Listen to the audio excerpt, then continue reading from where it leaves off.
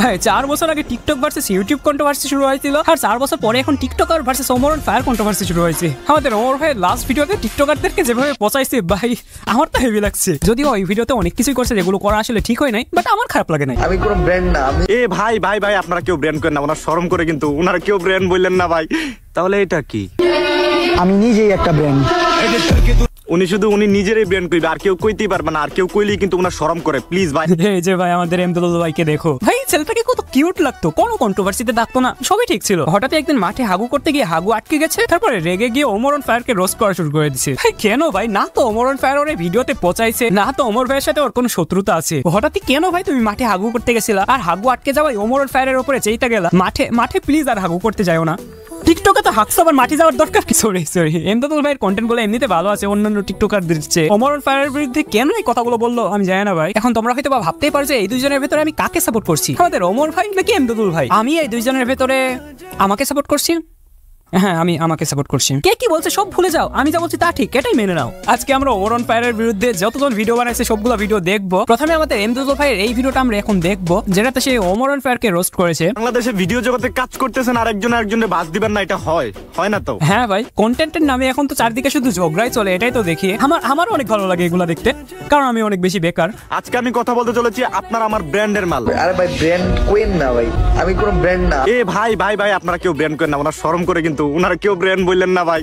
তাহলে এটা কি? আমি নিজেই একটা ব্র্যান্ড সবাই ব্র্যান্ড ভাই সবাই ব্র্যান্ড সব টিকটকারের ব্র্যান্ড তুমি টিকটক করো মানে তুমিও ব্র্যান্ড ব্র্যান্ডগুলোর কেন যেভাবে ওপেন করা হচ্ছে। টিকটকাররা এটা করে টিকটকাররা ওইটা করে টিকটকাররা রাত হলে চুরি করে দিন হলে ভিডিও করে আপনি কে? ভাই এটা তো এটা তো মিথ্যা না তাই না? আমরা তো নিউজে দেখেছি যে টিকটকাররা রাতের বেলায় চুরি করা টাকা দিয়ে দিনের বেলায় টিকটক করে। দিনে টিকটক স্টার আর রাতে ছিচকে চোর। টিকটক করতে যে রঙিন সাজ পোশাকের দরকার সেই টাকা জোগাড় করতে চুরির পেশা বেছে নিয়েছিল চার তরুণ। Indian funny content creator round to hell ওনার ভিডিওগুলো কপি করছে। এখন আপনারা বলতে পারেন যে কপি করতে ট্যালেন্ট লাগে বুঝছেন? সুরাজ জক্স যে কিনা মে মাসের চার তারিখ দুই সালে একটা দেশি ক্রিকেট নামে ভিডিও আপলোড করে। ওই ভিডিওটা আপনাদের ব্র্যান্ডের সস্তা আইপিএল নামে এটা আপলোড করছে মে মাসের আঠাশ তারিখ।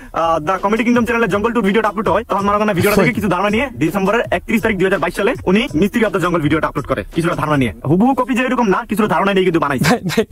কপি না ভাই ওটা ওটাকে বলা ইন্সপায়ারেশন সেম টপিকে ভিডিও মানে এই না যে ওটা কপি সবাই টাইটেল এখন ওমর ভার্সেস টিকটকার দিয়ে একটা করে ভিডিও বানাচ্ছে। আমিও যদি আমার ভিডিওতে সেম টাইটেল দিই এর মানে এই না যে আমি অন্য কারও ভিডিও কপি করছি। যদিও আমার কপি নিয়ে কেউ এক্সপোজ করে দিও না আমি সব ইউটিউবারদেরকে কপি করি। তো হ্যাঁ তুমি অন্য কারও থেকে ইন্সপায়ার হয়ে সেম টপিকে ভিডিও ভিডিও বানাতেই পারো এটাকে যে কপি বলে সে আসলে তার ব্রেন মাথায় নয় পাশাই নিয়ে ঘুরে। আপনাদেরকে আরেকটা ভিডিও দেয়। এতক্ষণে একটা কামের জিনিস পাইছি। আমি আয়নায় ফোন দেয় টিকটক ভিডিও করি কথাটা আমার গায়ে লাগল বিকজ আমি আয়নাতে ভিডিও করি আপনার ও আচ্ছা এবার বুঝলাম। কেন আমাদের এমদুল ভাই এত রেগে গেছে? ভাই আয়নাতে ভিডিও কে করে নাই ভাই? আগে তো টিকটক মানেই ছিল আয়নার সামনে আইফোন দেখায় ভিডিও আমি একটা ভিডিও দেখাই।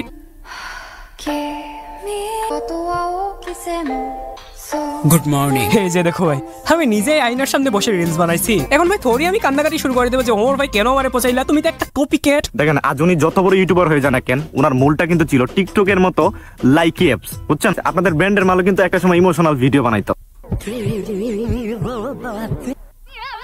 ভিডিওগুলো দেখেন উনি কিন্তু অনেক অনেক লাইকি ভিডিও করছে। উনি উনি টিকটকার না উনি লাইকার ভাই কি লজিক দেবে এটা কি লজিক দেই বাচ্চাকালে তুমি জামা কাপড় না পরে রাস্তাঘাটে ঘুরে বেড়াইছো। এর মানে এখনও কি তুমি জামা কাপড় না পরে গার্লফ্রেন্ডের সাথে দেখা করতে চলে যাবে? ছোটবেলায় তুমি হাফ প্যান্ট পরে স্কুল চলে গেছো। এর মানে এখনও কি তুমি হাফ প্যান্ট পরে টেং টেক করে মেমের সামনে চলে যাবে? না তো, তাহলে? ভাই ওমরন পায়ের যখন এই লাইকি ভিডিওগুলো বানাইছে, তখন ওমরন পায়ের এই নামটার কোনো অস্তিত্বই ছিল না। তুমি পূর্বে ধরো অনেক অনেক খারাপ ছিলে। এর মানে এই না যে তুমি এখনও খারাপ থাকবে। মানুষ ভাই পরিবর্তন হয়। তুমি তোমার এক্স গার্লফ্রেন্ডের দিকেই তাকাও না। তাহলে তো বুঝতে পারবা মানুষ কত পরিবর্তনশীল। ওমরন ফায়ারের এখনকার ভিডিওগুলো দেখো ভাই, অনেক মেসোয়ার মনে হবে ওনাকে। আমার আমার নিজেরই দুই তিন বছর আগের ভিডিওগুলো দেখলে ভাই চোখ দিয়ে হিসু করে দিতে ইচ্ছে করে। কি ভিডিও বানাইছিলাম তখন? আপনার আম্মু পাঁচ অক্ত নামাজ পড়ে মাশাল্লাহ কিন্তু আফসোস, আপনার মতন কুলাঙ্গারের জন্ম হইছে ওই মায়ের ঘরে। ভাই, মামুন নাকি কথাটা নিজেরে বলল, বুঝলাম না তো। ওমরন ফায়ারের একটা কাজ দেখাও, যেটার জন্য তাকে কুলাঙ্গার বলা যায়। নাই ভাই, এমন কোনো কাজ আমি তো দেখি নাই। আর এদিকে আমাদের মামুন ভাইকে কুলাঙ্গার বলার মতন কত কাজ সে করে রাখছে। আমি জানি আমাকে বলতে হবে না, সেগুলো তোমরা জানোই। ভাই, ওমরন ফায়ারকে যে মানুষ সাপোর্ট করে, ওনাকে সাপোর্ট করার অনেক কারণ আছে। ওনার ফানি ভিডিওগুলো যদি তুমি দেখো, ভিডিওগুলো কিন্তু অ্যাকচুয়ালি ফানি মানে ভিডিও দেখার সময় তোমার মনে হবে না যে তোমাকে কেউ কাতুকুতু দিয়ে হাসাচ্ছে। দেখবা, দেখতে একটা অটোমেটিক হাসি চলে আসবে। বাংলাদেশে যেসব ফানি ভিডিওর নামে ভিডিও তৈরি হয়, দেখবা বেশিরভাগ গুলাই দেখলে মনে হবে যে তোমাকে কেউ কাতুকুতু দিয়ে হাসা নাচানোর চেষ্টা করছে। অমরের ফায়ারের ভিডিওগুলো দেখলে তোমার সেরকমটা মনেই হবে না। দামি কোনো ক্যামেরা নাই সিম্পল মোবাইলের ক্যামেরা দিয়ে বত্রিশটা ভিডিও আপলোড করে two point five million subscriber এটা একটা বাংলাদেশে এমন কেউ নাই যে করতে পারছে। দেখো ভাই, আমি অমরন ফায়ারটা চাচ্ছি না। তোমার মাথায় ব্রেন থাকলে তুমি ঠিকই বুঝতে পারবে যে আমি সব সত্যি কথাই বলছি। ডাইরেক্ট সব টিকটকারদের ছোট করে ভিডিও বানাই আপনারা কিছু কন্যা বই পান। ও লেভেল অনেক হাই নাকি আপনাদের দুই পায়ের মাঝখানে কিছু নাই? ভাই কার মাঝখানে যে কি নাই সেটা তোমরা একটা ভিডিও দেখলে বুঝতে পারবা ওয়েট শরীফ থেকে যদি শরীফা হওয়া যায় তাহলে আমি কেন জিসান থেকে জুস না হতে পারব না? এই যে যে দেখো ভাই সমকামিতাকে প্রমোট করা ব্যক্তি আবার অমরন ফায়ারের বিরুদ্ধে কথা বলে। টিকটক পরে করো ভাই আগে লাইট অফ করে এটা যাচাই করো যে তুমি ছেলে না মেয়ে। দেখেন ভিডিও দেওয়াটা কিন্তু আমাদের অভ্যাস হয়ে গেছে।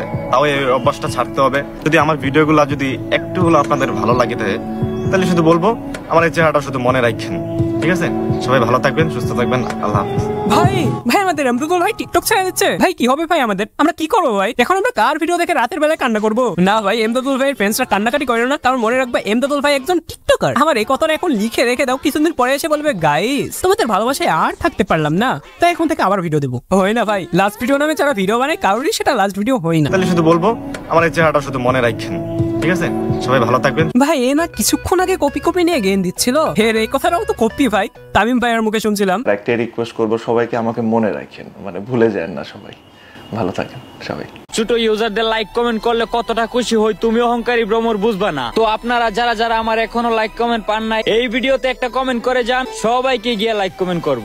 ভাই টিকটকারদের এটাই সমস্যা। সাপোর্ট করলে সাপোর্ট পাবেন বলে ভিডিও না বানালে আর টিকতে পারে না। কেন করিস ভাই এগুলা? কন্টেন্টে কি দম নাই? ভাই তোমাকে ভালো লাগবে তোমার ভিডিও ভালো লাগবে তবেই না লাইক কমেন্ট করব। নিজে সাপোর্ট পাওয়ার আশায় কেন করব? ভাই পৃথিবীতে কোনো ইউটিউবার সাপোর্ট করলে সাপোর্ট পাবেন এসব আবার আমি করে না। ইউটিউবাররা নিজের কন্টেন্টে মনোযোগ দেয়। ইউটিউবের অ্যালগোরিদম এখন এতটাই স্ট্রং যে কন্টেন্টটা দম থাকবে, তুমি ঠিকই মানুষের কাছে পৌঁছে যাবে। ইউটিউবের কমেন্ট বক্সে সাপোর্ট করলে সাপোর্ট পাবেন এসব লিখলে ভাই তোমার চ্যানেলে স্ট্রাইক চলে আসবে। গ্রো করার বেস্ট টিপস হলো কন্টেন্টটা দমানো ভাই, আর কিছু না। চলো দেখা হচ্ছে পরের ভিডিওতে সে পর্যন্ত সবাই ভালো থাকবে, সুস্থ থাকবে। Bye.